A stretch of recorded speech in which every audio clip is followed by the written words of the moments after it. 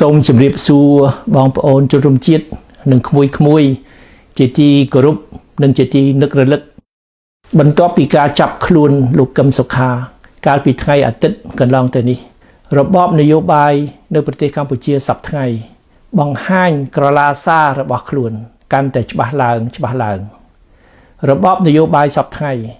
កាន់តែដូចរបបខ្មែរក្រហម កាលពីសម័យប៉ុលពត ដោយកាលពីសម័យប៉ុលពតអញ្ចឹងដែរគេតាមកំចាត់មនុស្សគ្រប់មជ្ឈដ្ឋាន ដែលគេចោទប្រកាន់ឬសង្ស័យថា ប្រឆាំងគេ ឬអាចប្រឆាំងគេដោយកាលពីសម័យប៉ុលពតអញ្ចឹងដែរគេហាមឃាត់មិនឲ្យមនុស្សនិយាយស្ដីពីបញ្ហាសង្គមគឺបង្ខំឲ្យមនុស្សនៅស្ងាត់ជ្រាប ហើយគេរារាំងមិនឲ្យមានព័ត៌មានអ្វីយកមកផ្សព្វផ្សាយកាសែត និងស្ថានីយវិទ្យុដែលហ៊ានលាតត្រដាងការពិតតែបន្តិចត្រូវគេបិទឲ្យស្ងាត់ជ្រាបសិទ្ធិសេរីភាពគ្រប់បែបយ៉ាងត្រូវគេជន់ឈ្លីនិងលុបបំបាត់ដើម្បីចោតប្រកាន់និងផ្ដន់ទាទោសអ្នកដែលហ៊ានតិទៀនអំពើអាក្រក់របស់ពួកគេ គេធ្វើការចោតប្រកាន់ដោយគ្មានមូលដ្ឋានពិតប្រាកដអ្វីសោះយកមកសំអាង តែគេលើកមកតែការប្រឌិតទាំងស្រុង ឬការបកស្រាយតាមតែអំពើចិត្តរបស់គេ ដើម្បីធ្វើបាបអ្នកដែលមិនមែនជាក្រុមបពពួកគេដោយកាលពីសម័យប៉ុលពតអញ្ចឹងដែរគេចោទអ្នកនេះជាខ្មាំងអ្នកនោះជាខ្មាំងដែលគេអះអាងថាចង់ផ្ដួលរំលំរបបគេដោយកាលពីសម័យប៉ុលពតអញ្ចឹងដែរដែលចិត្តស្និទ្ធជាមួយចិនកុម្មុយនីសគេឃើញសត្រូវគ្រប់ទិសទី មានសហរដ្ឋអាមេរិកជាដើមគេចោទអ្នកប្រជាធិបតេយ្យដែលទាមទារសិទ្ធិសេរីភាពឲ្យប្រជារាស្ត្រខ្មែរថាជាអ្នកចូលដៃជាមួយសហរដ្ឋអាមេរិកដើម្បីផ្ដួលរំលំរបបផ្ដាច់ការរបស់គេខ្ញុំបានបង្ហាញហើយថាហ៊ុនសែននិងប៉ុលពតចេញមកពីសម្បុកតែមួយ គឺសម្បុកពួកជនកុម្មុយនីសផ្ដាច់ការដែលម្ដងបំរើចិន ម្ដងបំរើយួន ឬក៏បំរើទាំងផលប្រយោជន៍ចិន ទាំងផលប្រយោជន៍យួនដូចសពថ្ងៃដើម្បីពង្រឹងអំណាចផ្ដាច់ការនិងអំពើពុករលួយរបស់ខ្លួន គេបិទបាំងមិនអោយប្រជារាស្ត្រខ្មែរជាពិសេសយុវជនចំនួនក្រោយ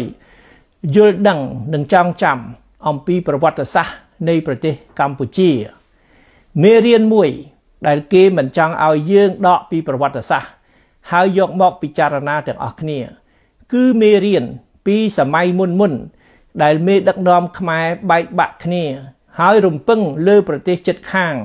ឲ្យមកជួយខ្លួន បានឡើងកាន់អំណាច និងរក្សាអំណាច ពេលណាខ្មែរបែកបាក់គ្នាម្ដងម្ដង ហើយទៅរំពឹងបរទេសជិតខាងឲ្យមកជួយក្រុមនេះ ឬក្រុមនោះឡើងកាន់អំណាច ពេលនោះគឺខ្មែរខាតជានិច្ចជាពិសេសខាតជាទឹកដី ហើយបាត់បង់ឯករាជ្យភាព និងអធិបតេយ្យភាពជាតិទោះជាក្រុមណាឈ្នះក៏ដោយក្រុមដែលកាន់អំណាចសពថ្ងៃនៅប្រទេសកម្ពុជា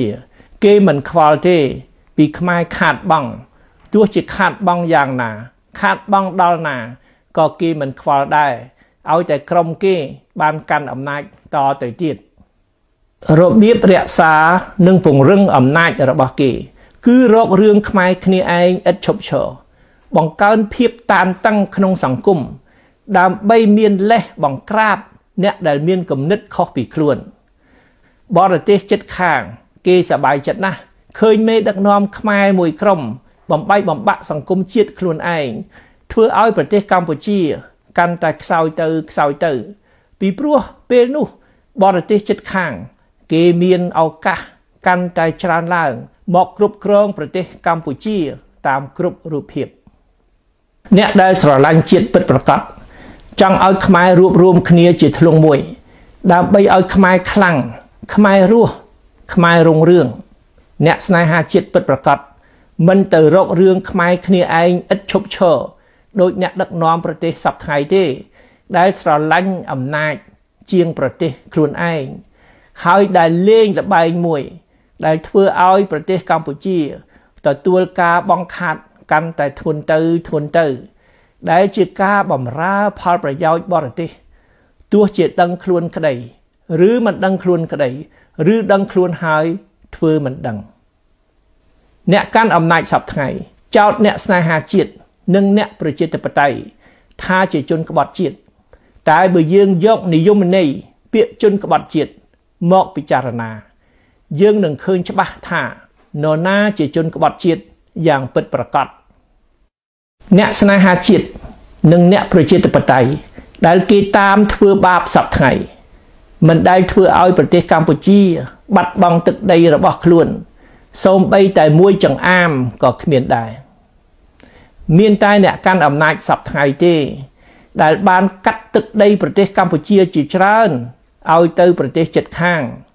ជាធ្នូសម្រាប់ឲ្យបរទេសលើកបន្ទប់នឹងការពារអំណាចរបស់ខ្លួន លើខ្មែរគ្នាឯងអ្នកដឹកនាំប្រទេសសពថ្ងៃទេ ដែលត្រូវចាត់ទុកថាជាជនក្បត់ជាតិអ្នកស្នេហាជាតិនិងអ្នកប្រជាធិបតេយ្យដែលគេតាមធ្វើបាបសពថ្ងៃមិនដែលធ្វើឲ្យប្រទេសកម្ពុជា បាត់បង់ឯករាជ្យភាព និងអធិបតេយ្យភាពជាតិរបស់ខ្លួន ដោយយកមហិច្ឆតាលោភលន់អំណាច ទៅបដូរជាមួយផលប្រយោជន៍ជាតិដងណាទេ មានតែអ្នកដឹកនាំប្រទេសសពថ្ងៃទេ ដែលធ្វើឲ្យប្រទេសកម្ពុជា បាត់បង់ឯករាជ្យភាព និងអធិបតេយ្យភាពជាតិរបស់ខ្លួន ដោយคล้ายទៅជារណបបរទេសព្រមទាំងធ្វើឲ្យប្រទេសកម្ពុជាคล้ายទៅជាអាណានិគមនិយមរបស់ប្រទេសជិតខាង ជាពិសេសក្នុងវិស័យសេដ្ឋកិច្ចអ្នកដឹកនាំប្រទេសសពថ្ងៃទេ ដែលត្រូវចាត់ទុកថាជាជនក្បត់ជាតិអ្នកស្នេហាជាតិនិងអ្នកប្រជាធិបតេយ្យ ដែលគេតាមធ្វើបាបសពថ្ងៃមិនដែលបំផ្លិចបំផ្លាញទ្រព្យសម្បត្តិជាតិដូចជាព្រៃឈើរ៉ែមច្ឆជាតិដងណាទេ មានតែអ្នកដឹកនាំប្រទេសសពថ្ងៃទេ ដែលបានបំផ្លិចបំផ្លាញទ្រព្យសម្បត្តិជាតិគ្រប់បែបយ៉ាង យកទៅលក់ដូរតាមចិត្តដើម្បីបំរើផលប្រយោជន៍ក្រុមគ្រួសារខ្លួន និងបពពួកខ្លួន ហើយធ្វើឲ្យផលប្រយោជន៍ជាតិរលាយសាបសូន្យ អ្នកដឹកនាំប្រទេសសពថ្ងៃទេ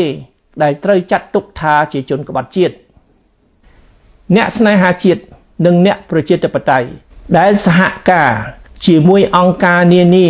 របស់សហរដ្ឋអាមេរិកមិនអាចជាជនក្បត់ជាតិបានទេ ពីព្រោះសហរដ្ឋអាមេរិកជាប្រទេសដែលកាន់លទ្ធិប្រជាធិបតេយ្យនិងចេះគោរពសិទ្ធិមនុស្សសហរដ្ឋអាមេរិកគ្មានគម្រោងលេបត្របាក់ទឹកដីប្រទេស កម្ពុជាទេ ហើយក៏គ្មានផលប្រយោជន៍អ្វី មកកេងប្រវ័ញ្ចញើសឈាមប្រជារាស្ត្រខ្មែរដែរសហរដ្ឋអាមេរិកគ្រាន់តែចង់ជួយប្រជារាស្ត្រខ្មែរឲ្យបានស្គាល់នៅលទ្ធិប្រជាធិបតេយ្យពិតប្រាកដនិងការគោរពសិទ្ធិមនុស្សយ៉ាងត្រឹមត្រូវ។ទោះជាគេតាមធ្វើបាបយើងយ៉ាងណាខ្ញុំសូមឲ្យអ្នកស្នេហាជាតិនិងអ្នកប្រជាធិបតេយ្យគឺជនជាតិខ្មែរគ្រប់រូប ដែលស្រឡាញ់សេរីភាពនិងយុត្តិធម៌សូមបងប្អូនក្មួយក្មួយកុំអស់សង្ឃឹមអំណាចផ្ដាច់ការដូចនៅប្រទេសកម្ពុជាសប្តាហ៍ថ្ងៃដែលធ្វើអំពើអាក្រក់កាន់តែច្រើនឡើងច្រើនឡើង មិនអាចនៅថិតថេរបានយូរទេ ពីព្រោះបទពិសោធន៍ពីប្រវត្តិសាស្ត្រគ្រប់សម័យក្នុងពិភពលោក បង្ហាញថាគ្មានអ្វីឈ្នះកម្លាំងប្រជារាស្ត្របានទេ នៅប្រទេសកម្ពុជាសប្តាហ៍ថ្ងៃ កម្លាំងប្រជារាស្ត្រដែលតំណាងឲ្យអំពើល្អច្បាស់ជានឹងដណ្ដើមយកជ័យជំនះក្នុងពេលអនាគតដ៏ឆាប់ឆាប់ខាងមុខលើរបបដេរឆានសប្តាហ៍ថ្ងៃជាពុំខាន